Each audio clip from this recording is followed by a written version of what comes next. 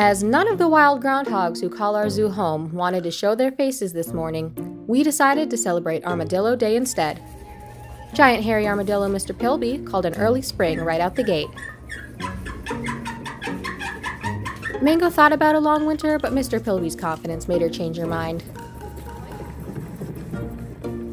We don't care what the groundhog said. We are expecting an early spring. Thank you, Mr. Pilby and Mango.